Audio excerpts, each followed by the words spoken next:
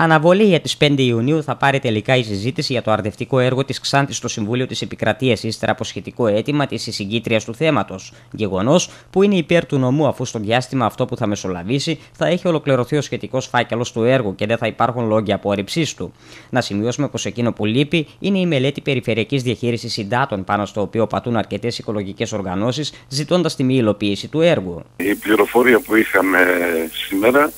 αφορά την ε, αναβολή της εκδίκασης υπόθεσης στο Συμβούλιο της Επικρατείας που ήταν για αύριο με βάση την εισήγηση που έκανε χθες η εισηγήτρια ε, του θέματος να αναβληθεί η συζήτηση για τις 5 έκτου. Θεωρώ λοιπόν ότι το χρονοδιάγραμμα που, της αναβολής αυτής είναι προς όφελος της εκδίκασης διότι μέχρι τότε θα μπορέσουμε να έχουμε αυτές τις μελέτες διαχείρισης των υδάτων από το ΙΠΚ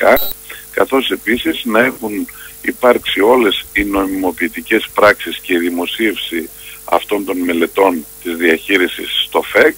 και θα αποτελέσουν στοιχεία της ε, φαρέτρας μας για την αντιμετώπιση της ε, προσφυγής των οικολογικών οργανώσεων. Διότι στην ουσία οι οργανώσεις αυτές προσφεύγουν ενάντια στη μη ύπαρξη αυτών των σχεδίων διαχείρισης. Έτσι λοιπόν, εφόσον θα τα έχουμε στην συγκεκριμένη ημερομία της αναβολής και αυτά έχει υποσχεθεί το Υπουργείο ότι θα τα έχει υλοποιήσει μέχρι τα μέσα Απριλίου,